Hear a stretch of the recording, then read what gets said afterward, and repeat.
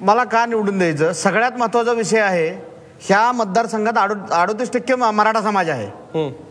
आरक्षणाच्या विषयावरती लढत असताना मराठा समाजानं मराठा क्रांती मोर्चाच्या नावानं जी लढाई उभा केली ती लढाई फोडण्याचं काम ते लढाई फोडण्याचं काम बीजेपी शिवसेनेनं केलं.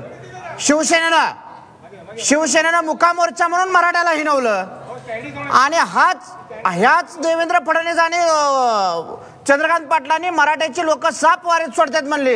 ह्याचा अर्थ असा की मराठ्याची लोक साप सोडणारी नाहीत. आम्ही आमच्या हितासाठी लढतोय आमच्या हितासाठी आम्हाला निवडून दिलं पाहिजे लोकांनी. कारण का तर आरक्षण पाच हजार रुपये पुरोहितांना दिलं. कुणाला माहीत आहेत का? महिन्याला पाच हजार पुरोहितांना शेतकऱ्याला सहा हजार रुपये दिलेत वर्षाला. ही बी जी पीची रणनीती. दहा टक्के आरक्षण घेतलं. दहा टक्के आरक्षण घेतलं सुवर्णांना.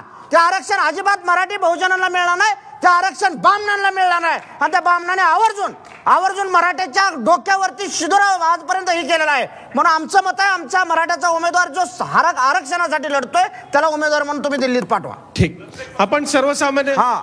आपण सर्वसामान्य जनतेकडे येऊयात. सर्वसामान्य जनते